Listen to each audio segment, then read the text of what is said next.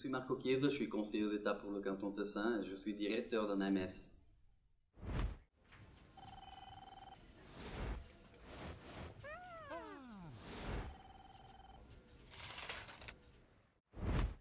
Je soutiens avec force l'initiative pour la limitation parce que c'est très important que les citoyens suisses peuvent encore décider qui peut venir dans notre pays et qui n'a pas le droit.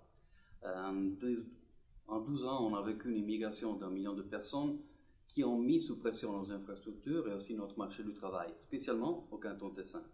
Il y a eu une substitution de main-d'œuvre entre des jeunes immigrés depuis l'Union européenne avec des personnes plus âgées qui étaient résidents dans notre, dans notre pays. Avec l'acceptation de l'initiative pour la limitation, on pourra se battre contre les conséquences néfastes de la libre circulation et donner un futur à notre fils. Votez oui à l'initiative de limitation pour protéger notre environnement, notre jeunesse, nos PME et nos travailleurs. Votez oui à l'initiative de limitation.